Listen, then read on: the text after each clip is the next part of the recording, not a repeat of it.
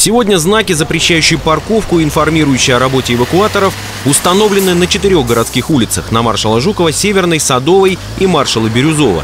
Припаркованный под знаками транспорт принудительно эвакуируется с 8 утра до половины шестого вечера. Значит, в ночные часы машины ставить тут можно. Это было сделано для того, чтобы освободить проезжую часть, особенно в зимний период, когда происходит уборка э, проезжей части от снега.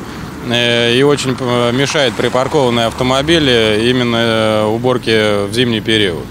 Э, Сейчас вышло постановление, уже с понедельника оно действует, эти знаки утверждены.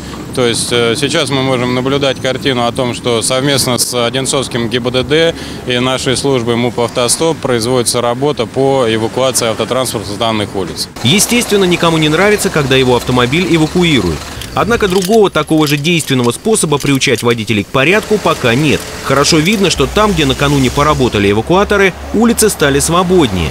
Сегодня у предприятия МУП «Автостоп» 8 таких машин. Вместе с ними постоянно работает и два экипажа ГИБДД. ежедневно вывозим в среднем в среднем где-то порядка 10-12 автомобилей, но это катастрофически мало для того, чтобы наводить порядок э, у нас в городе. Дальше будет еще больше автомобилей. Мы планируем где-то в день убирать порядка 30 автомобилей с улицы. То есть, э, представляете, парк машин из 8 автомобилей встают вдоль улицы, можем убрать любую. Результат этой работы станет еще нагляднее зимой, когда чистить улицы от снега будет нужно каждый день. Но уже сейчас видно, что центральные улицы города поехали веселее. Альтернатива у парковки вдоль центральных улиц есть.